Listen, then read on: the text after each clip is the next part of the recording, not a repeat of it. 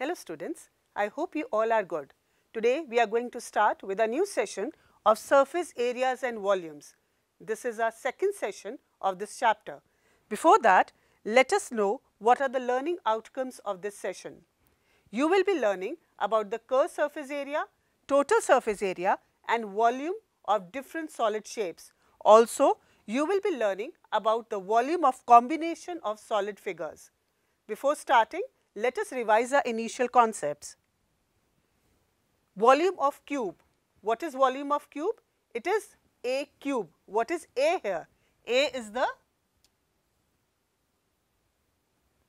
one side or one edge of the cube. Similarly, volume of cuboid is given as length into width into height. Length is, this is the length, this is the width and this is the height. So, volume of cuboid is given by length into width into height. Let us move forward. Volume of a cylinder. This is a cylinder and the volume is given by pi r square h. Pi can be taken as 22 by 7 or 3.14 according to the question. Also, what is r? r is the radius. r is the radius of the cylinder and h, h is the height of the cylinder. This is h. Similarly, volume of a cone will be 1 by 3 pi r square h. Again, r will be the radius of the cone and h will be the height of the cone. I hope it is clear. So, let us move forward. Volume of a sphere. This is a sphere and the volume is given by 4 by 3 pi r cube. What is r? r is again the radius of the sphere. Similarly, volume of the hemisphere will be 2 by 3 pi r cube. Note that volume of a hemisphere is half of the volume of the sphere and r is again the radius of the hemisphere. I hope this is clear. So, let us move forward. These are combination of solids and we have to study about the volume of these combination of solids. Here we have an ice cream. This is a combination of a hemisphere as well as a cone. Similarly, we have a rocket, a toy rocket and we can see a cone and a cylinder. Similarly, we have a capsule. What is this?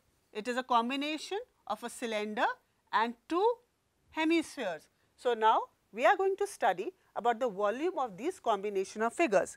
So, let us move forward and do some examples.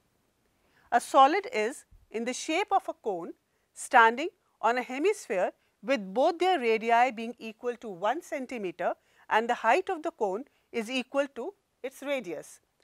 Find the volume of the solid in terms of pi. This is a solid, we have a hemisphere and a cone on this hemisphere. A solid is in the shape of a cone standing on a hemisphere. Radius and height of the cone are the same. The radius of the cone and the height of the cone, these are same. And what is this? This is 1 centimeter, right. Radius of hemispherical part is equal to radius of the conical part and we have known that radius of the cone is 1 centimeter. So, radius of the hemisphere will also be 1 centimeter and height of the conical part will also be 1 centimeter. Now, volume of this solid, this complete solid will be volume of the conical part, this is the conical part plus volume of the hemispherical part. So, let us move forward and substitute the formulas. Volume of the solid will be 1 by 3 pi r square h. What is this? This is the volume of the cone and 2 by 3 pi r cube. This is the volume of the hemisphere. Adding this both, we have this. Taking common and taking the LCM, we get pi r cube. Now, we need the answer in the terms of pi. We know that r, the radius is 1 centimeter. So, substituting r as 1 centimeter, we get the answer as pi centimeter cube. I hope this is clear. So, let us move forward. We have another example, a gulab jamun, your favorite. A gulab jamun contains sugar syrup up to about 30 percent of its volume.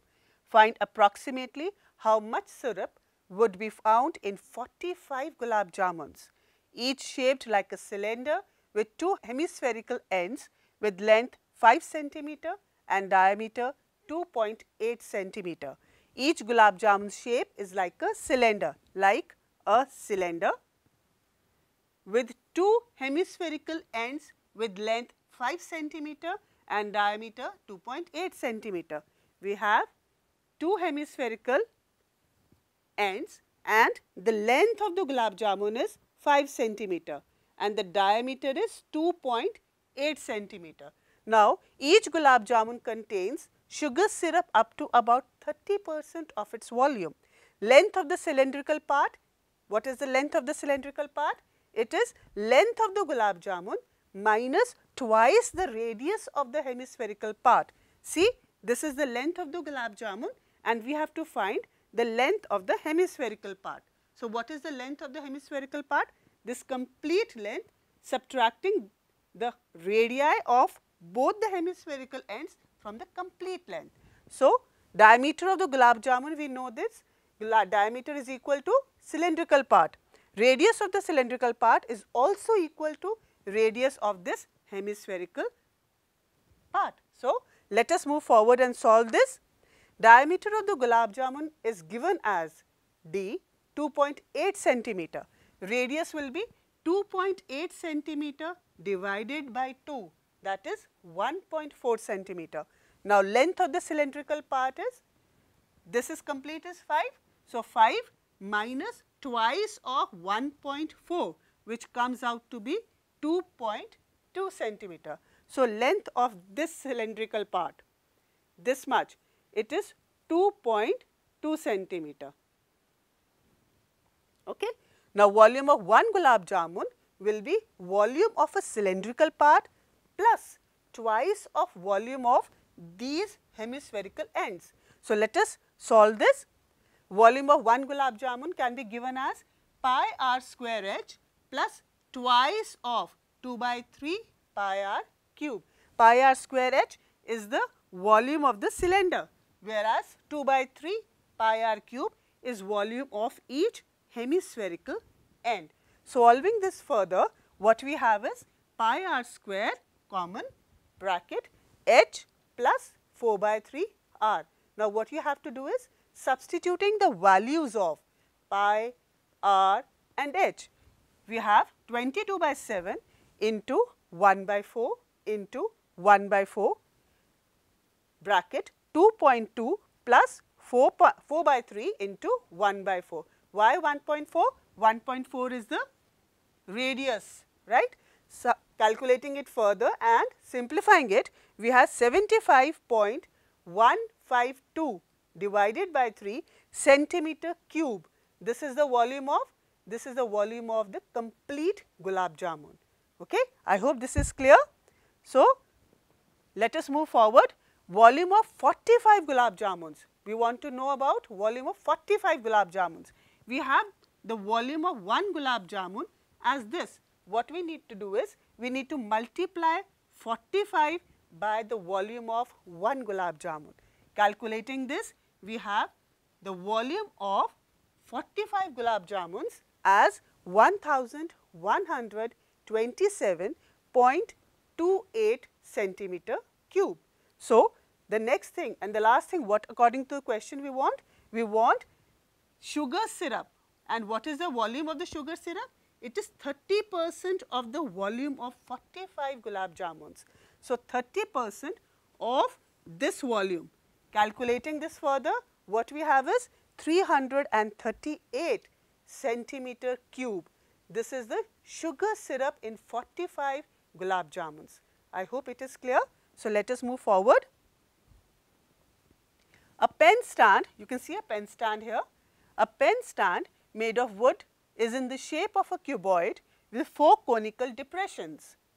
To hold pens, the dimensions of the cuboid are 15 centimeter by 10 centimeter by 3.5 centimeter.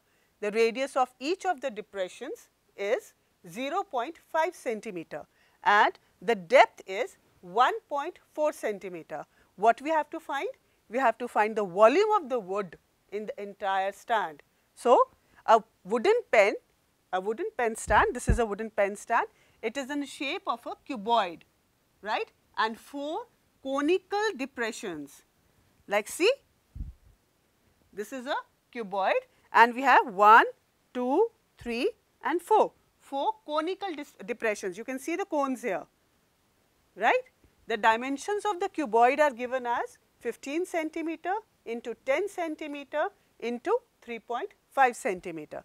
Radius of each conical depression is 0.5 centimeter. Also we have been given that depth of the conical depression is 1.4 centimeter. What do you mean by depth? Depth means the height of this cone, this much. This is 1.4 centimeter. The conical depressions do not contain wood, these are empty. Since the dimensions of all four conical depressions are the same, they will have identical volumes also.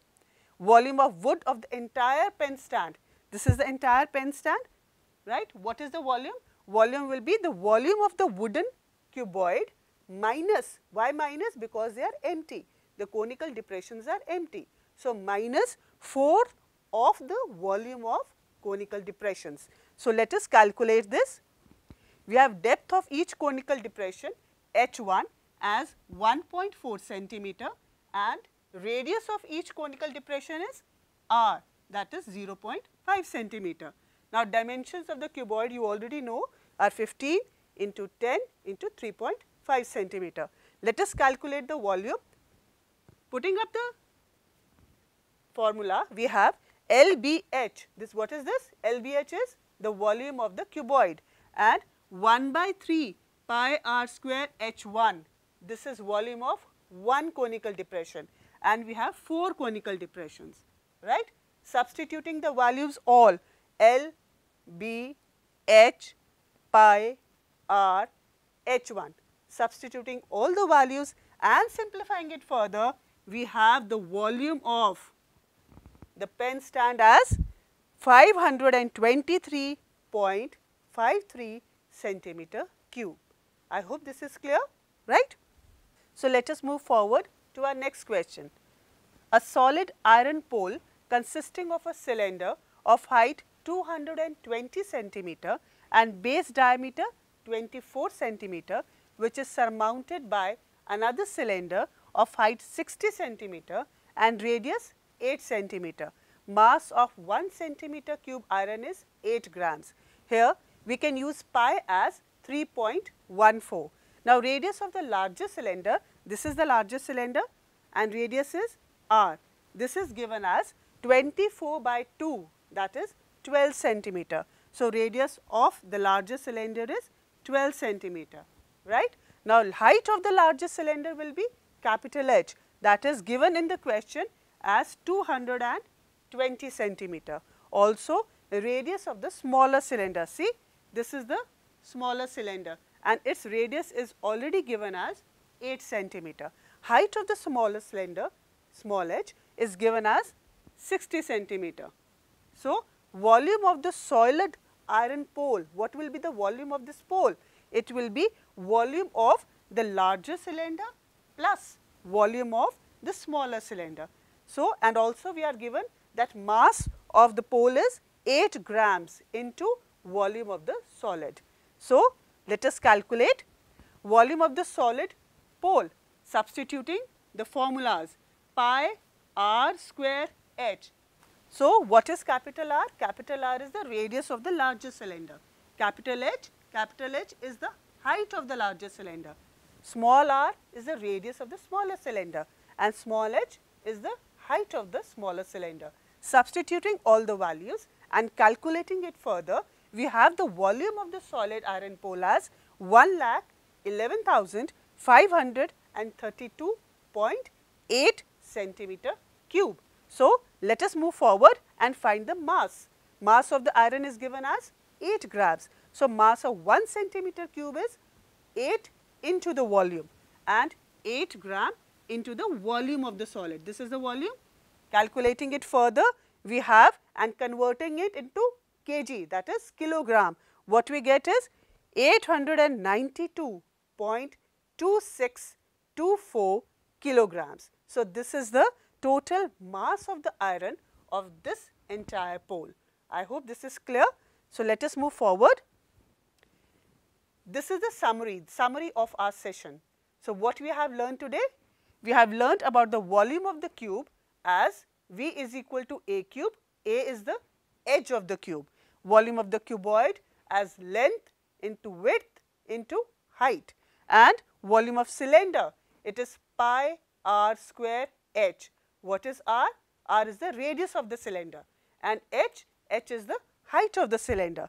Similarly, volume of cone will be 1 by 3 pi r square h. Again, r is the radius of the cone and h is the height of the cone and volume of the sphere will be 4 by 3 pi r cube. r is again the radius of the sphere.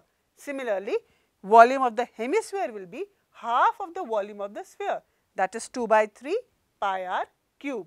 r is again the radius of the hemisphere. Also, you have studied about the application of these formulas to find the volume of combination of figures. I hope all these concepts are clear. Have a nice time.